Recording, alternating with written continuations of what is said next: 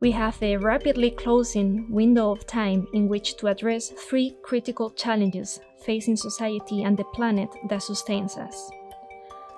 These three complex challenges are feeding the world, combating global health threats, and climate change. Every minute, the world loses 23 hectares of arable land, and every day there are 160,000 more mouths to feed.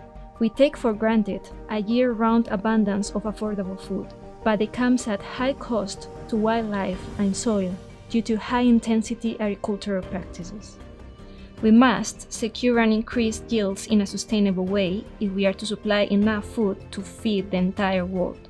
A changing environment brings new types of pests and diseases. Plants are just as susceptible to pathogens as humans are. Recent events have shown we lack resilience in the face of emerging diseases. A global pandemic that affects a major food crop such as wheat, rice, or potato would be as devastating as COVID 19 in terms of its impact on humans. Simply put, we are not currently able to produce enough food to fulfill future needs. Urgent action is required to improve the sustainability of agriculture and to protect plants from a growing threat of pests and diseases. the death toll associated with antimicrobial resistance could reach 10 million a year by 2050. Antibiotics, once highly effective at treating infections, are now failing.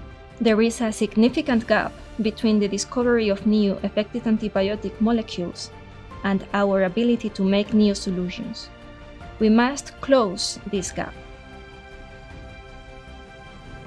The climate emergency has the capacity to cause widespread disruption to global food supplies.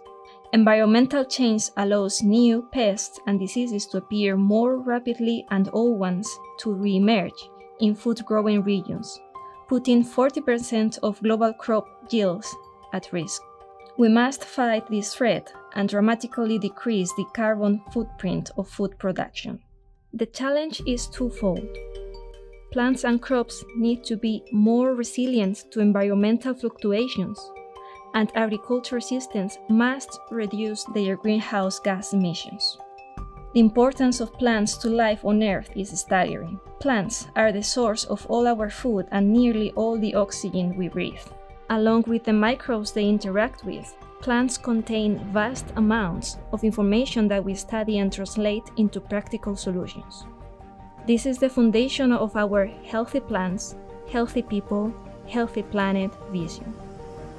Healthy Plants, Healthy People, Healthy Planet, or HP3, is our vision for a safer, healthier, and more sustainable future through the power of plant and microbial science.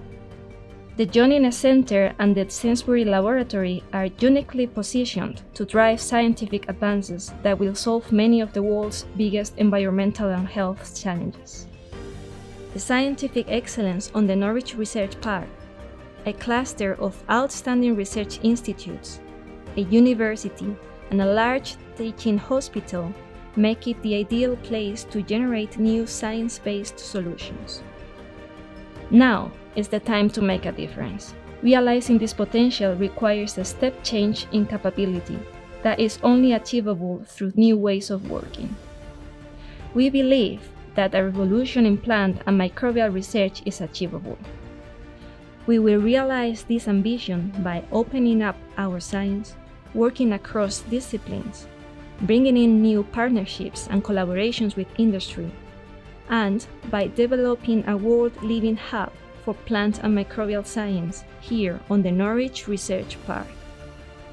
Healthy plants, healthy people, healthy planet allows the scientific potential of today meet the global challenges of tomorrow.